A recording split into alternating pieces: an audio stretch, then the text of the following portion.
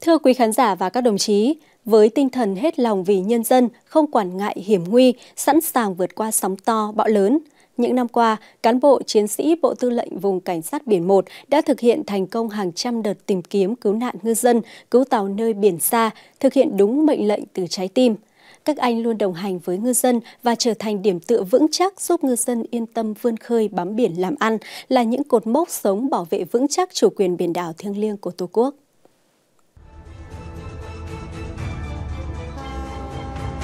Bộ Tư lệnh Vùng Cảnh sát biển 1 được giao quản lý vùng biển rộng. Đây là vùng biển diễn ra các hoạt động đánh bắt thủy hải sản khá nhộn nhịp, nơi có thời tiết khắc nghiệt, thường xuyên chịu ảnh hưởng của bão, áp thấp nhiệt đới, gió mùa, rông lốc, sương mù,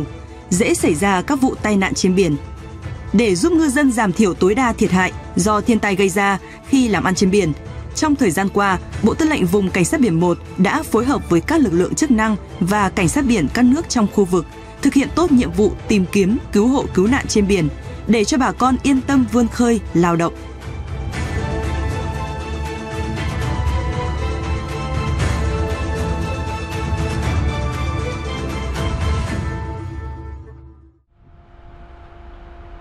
Tình huống giả định, biên đội kiểm tra Liên hợp nghề cá Vịnh Bắc Bộ tại Việt Nam và Trung Quốc đang tuần tra chung thì nhận được thông tin từ Sở Chỉ huy Bộ Tư lệnh Cảnh sát biển Việt Nam – tàu hàng HT3005 bị cháy, đang thả trôi ở khu vực biển Việt Nam. Trên tàu có 15 thuyền viên, trong đó có hai thuyền viên rơi xuống nước. Thuyền trưởng tàu HT3005 phát thông báo cứu nạn khẩn cấp. Biên đội lập tức triển khai hai xuồng cứu hộ, tiến hành tìm kiếm quanh vùng biển tàu HT3005 gặp nạn, phạm vi 02 hải lý và phát hiện hai người dưới nước.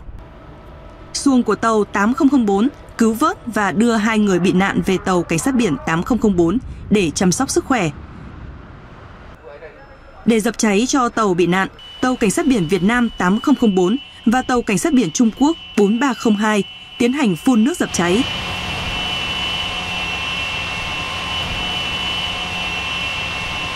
Sau khi dập tắt hoàn toàn đám cháy, tàu cảnh sát biển 8003 đưa tổ sửa chữa lên kiểm tra sửa chữa hỏng hóc máy móc, trang bị trên tàu bị nạn.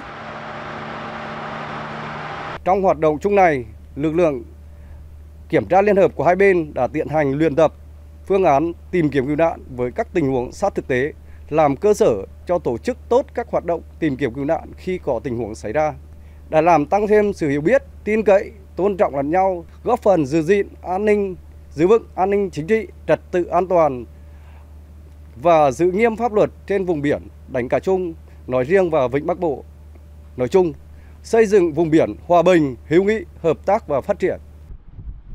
Ngoài việc tuần tra, kiểm tra, kiểm soát, duy trì việc thực thi pháp luật trên biển, cán bộ chiến sĩ trên các tàu cảnh sát biển 1 luôn làm tốt việc tuyên truyền, phổ biến pháp luật cho bà con ngư dân khi khai thác thủy sản trên vùng đánh bắt chung.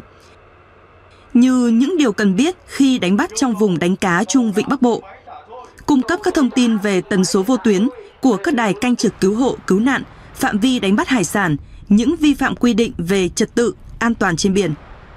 Buôn bán hàng cấm, trốn lậu thuế, đánh bắt hải sản trái phép trên vùng biển nước ngoài, đánh bắt hải sản có tính chất tận diệt, dùng hóa chất đánh bắt hải sản làm ảnh hưởng đến nguồn lợi thủy sản và phá hoại môi trường sinh thái biển. Khi phát hiện những cái hoạt động uh, vi phạm, ví dụ như là không treo uh, quốc kỳ thế hoặc là không đầy đủ giấy phép hoặc là Ờ, có những cái ờ, hoạt động mà, đánh bắt mang tính chất tận diệt thì ờ, sẽ yêu cầu dừng các cái hoạt động vi phạm đó. Đồng thời là chúng tôi tuyên truyền giáo dục để nhân dân hai bên là chấp hành nghiêm các cái hoạt động đánh bắt hải sản trên biển. Chúng tôi cũng phát hiện những cái khó khăn tai nạn hàng hải hoặc là thuyền viên mà, mà, các cái tàu thuyền mà gặp ở cái sự cố trên biển thì chúng tôi cũng kịp thời là hỗ trợ lương thực thực phẩm thế rồi là uh, giúp đỡ các cái tàu thuyền để khắc phục sửa chữa để tiếp tục cái hoạt động đánh bắt hải sản. Những con tàu của vùng cảnh sát biển 1 nói riêng đang từng bước được đầu tư trang bị hiện đại, đảm bảo cho thực hiện nhiệm vụ trên biển dài ngày. Cùng với đó, để làm chủ sử dụng thành thạo các trang bị kỹ thuật hiện đại của tất cả các ngành trên tàu, đòi hỏi cán bộ thủy thủ đoàn không ngừng học tập, luyện tập để nâng cao trình độ mọi mặt, tổ chức huấn luyện các nội dung đảm bảo thuần thục tại bến cũng như khi đi biển, trong đó có huấn luyện các phương án tình huống cứu hộ cứu nạn. Chúng tôi à, đã lập kế hoạch huấn luyện, à, soạn thảo giáo án và tổ chức ừ, huấn luyện tại bến. Thì à, tập trung vào các cái ờ, ờ, bảng như là bảng ờ, thực hiện các nghi thức ngoại giao, bảng lưng hạ xuồng, cứu người rơi xuống nước, các bảng cứu hộ tàu bị nạn. Ngoài ra thì huấn luyện cho các cán bộ chiến sĩ là thuần thục sử dụng thuần thục các trang bị máy móc trên tàu tổ chức luyện tập hiệp đồng trong biên đội. Ờ, quá trình ờ, rời bến đi thực hiện nhiệm vụ thì chúng tôi cũng ờ, tổ chức huấn luyện tại thực địa trên bảo đảm cho cán bộ chiến sĩ là thuần thục các cái bảng và các cái nội dung theo kế hoạch. Đối với ngư dân khi đi khai thác thủy sản trên biển, luôn phải đối mặt với nguy hiểm bất ngờ và rất nhiều khó khăn. Nhưng họ vẫn yên tâm ra khơi bám biển, sản xuất, bởi sau lưng họ luôn có sự đồng hành của lực lượng cảnh sát biển, giúp họ không còn đơn độc nơi khơi xa. Với tinh thần cứu người bị nạn như cứu người thân của mình và xác định đây là nhiệm vụ chiến đấu trong thời bình. Do vậy, bất kể điều kiện thời tiết khó khăn, mưa bão hoặc ở vùng biển xa, các lực lượng và phương tiện của Bộ Tư lệnh Vùng Cảnh sát Biển 1 vẫn có mặt kịp thời để cứu giúp ngư dân. Tiêu biểu, vào hồi 13 giờ 40 ngày 31 tháng 10 năm 2019, nhận được thông tin tàu hàng mang tên Thành Công 999 bị chìm tại khu vực ngoài cảng Sơn Dương, Hà Tĩnh, khoảng 2 hải lý, Bộ Tư lệnh Vùng Cảnh sát biển 1 đã lệnh cho tàu Cảnh sát biển 3005, Hải đội 102 khẩn trương lên đường thực hiện nhiệm vụ tìm kiếm cứu nạn. Sau hơn 2 giờ tìm kiếm, tàu Cảnh sát biển 3005 đã cứu vớt được hai thuyền viên. Tiếp tục nỗ lực tìm kiếm, đến 19 giờ cùng ngày, tàu đã tìm thấy và vớt thêm được 10 thuyền viên nữa. Cả 12 thuyền viên của tàu Thành Công 999 đã được cán bộ chiến sĩ tàu Cảnh sát biển 3005 chăm sóc y tế, động viên tinh thần, cung cấp nhu yếu phẩm và đưa về bờ an toàn. Tàu sự cố là chìm tàu của tôi là, là, là máy hai tôi cầm dịch để máy lúc đó là đã có lệnh là, là anh em rời tàu à. tôi là người ừ, với cùng với thuyền trưởng là rời sau. À. qua đây cũng uh, xin rất chân thành cảm ơn uh, tất cả các anh chiến sĩ cảnh sát biển lòng người dân không quản ngại trời nắng gió đêm tối cứu vớt được chúng tôi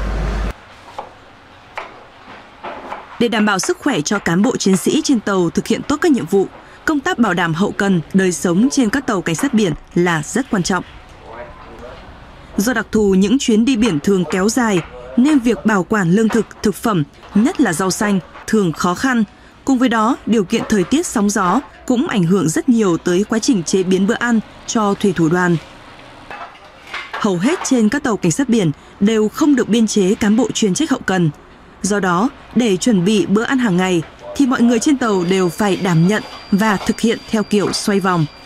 Tuy không phải cán bộ chuyên trách, nhưng khi tới phiên mình đảm bảo bữa ăn cho toàn tàu, đồng chí Phan Văn Huỳnh cũng như người khác luôn xác định rõ phải tận tâm đảm bảo những bữa ăn đủ định lượng mọi người ăn ngon để có sức khỏe tốt.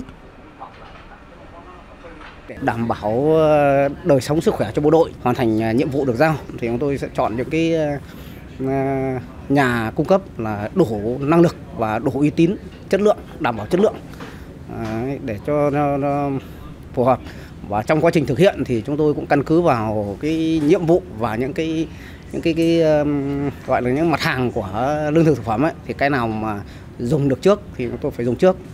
Cái nào mà có thể để được lâu thì chúng tôi sẽ dùng sau. Và trong quá trình coi như chế biến thì cũng là chế biến làm sao cho ngon và vệ sinh bất kể ngày hay đêm lúc biển lặng hay khi sóng to gió lớn cán bộ chiến sĩ hải đoàn 11 nói riêng vùng cảnh sát biển 1 nói chung đều là người bạn đường thân thiết tin cậy của tàu thuyền và lao động nghề biển khi đi lại làm ăn trên biển. Bằng những việc làm thiết thực ý nghĩa của mình, những chiến sĩ cảnh sát biển đã góp phần củng cố niềm tin, tạo thêm sức mạnh để ngư dân yên tâm vươn khơi bám biển làm ăn.